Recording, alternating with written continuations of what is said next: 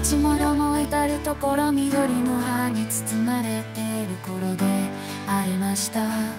穏やかな月のいい晩のことであります。静かな町の外れにおばあさんは住んでいましたがおばあさんはただ一人。窓の下に座ってはい仕事をしていました。ランプの日が辺りを平和に照らしていました。おばあさんはもういい年でありましたから雨が霞んで針の目処によく糸が通らないのでランプの日に。行くたびも透かして眺めたりまたシワの寄った指先で細い糸を寄ったりしていました。月の光は薄青くこの世界を照らしていました。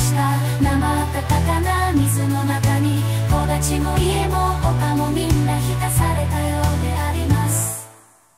おばあさんはこうして仕事をしながら自分の若い自分のことやまた遠方の親戚のことや離れて暮らしている。孫娘のことなどを空想していた目覚まし時計の音がカタコトカタコトと棚の上で刻んでいる音がするばかりで辺りはしんと静まっていました。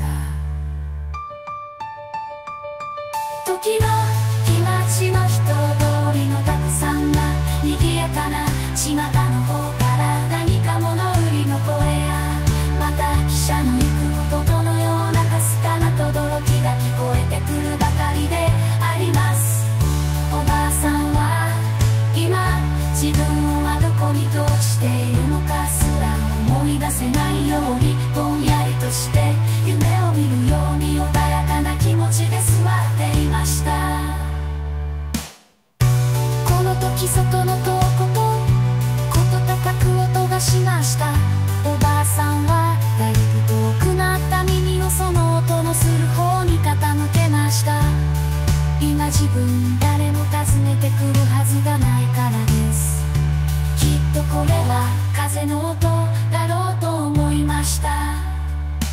風は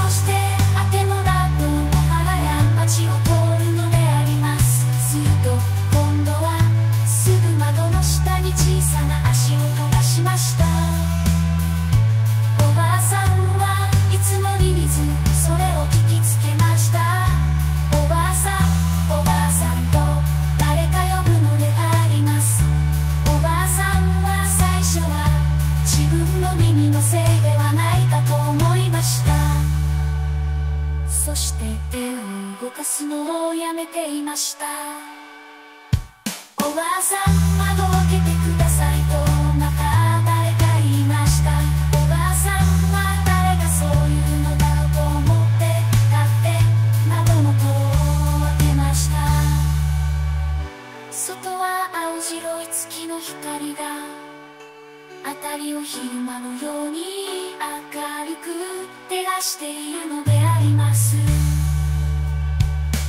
の下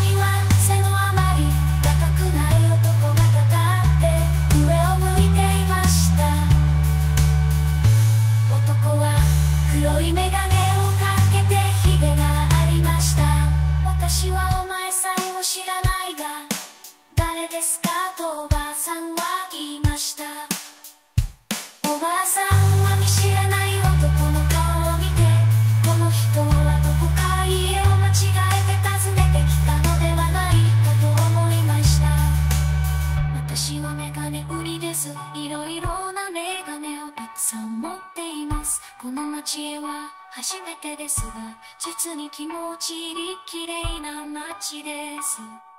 今夜は月がいいからこうして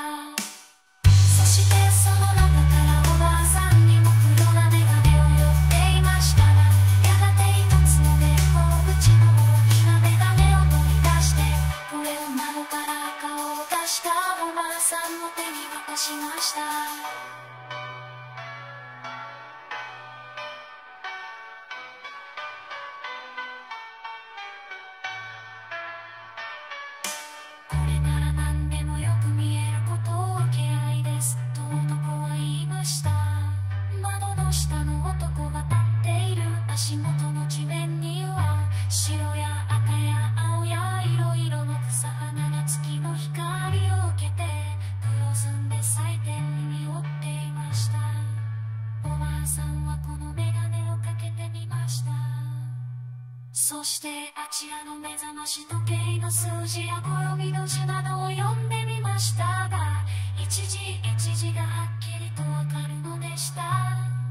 それはちょうど幾十年前の脳設定の自分にはおそらくこんなに何でも。